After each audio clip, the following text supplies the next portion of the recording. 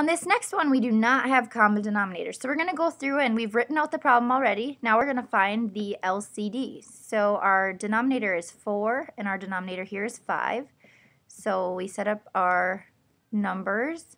I like to count by the bigger number, 5, 10, 15, 20. I know that 4 goes into 20, so our least common denominator is going to be 20. Let's rewrite our fractions. Originally we had 1 fourth and 3 fifths. We want both of those to get to 20 on the bottom, just like we've practiced in previous videos. So to get to 20, I'm going to have to multiply by 5 in the denominator and the numerator. And to get to 20 down here, I'm going to have to multiply by 4 in the denominator and the numerator. So here's our two new fractions.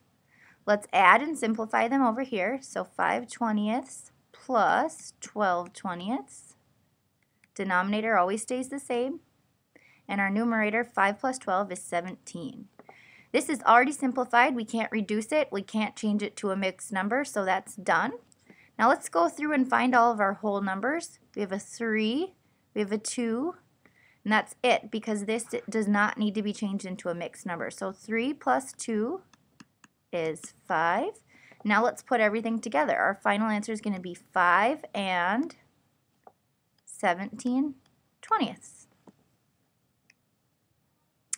All right, here's another problem. 4 and 3 fourths plus 1 and 5 sixths. Let's look at our denominators. 4 and 6, those are not common, so let's find the LCD. I'm going to count by sixes.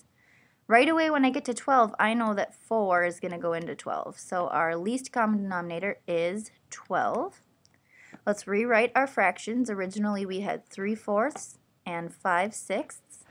We want those to get to 12 as our new denominators. 4 times 3. And down here it's going to be 6 times 2.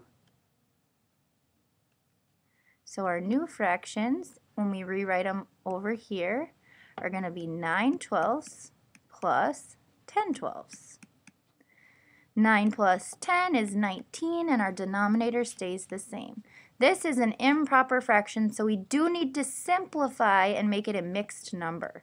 So 19 divided by 12.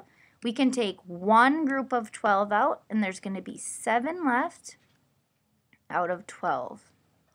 Okay, let's go to this square where we're going to add all of our whole numbers. So looking through our problem, we have a 4 plus a 1 plus, in our simplified version over here, we have another 1.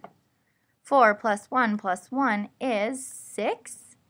So let's combine what we've got. 6 and 7 twelfths. And that's our final answer, all simplified and perfect.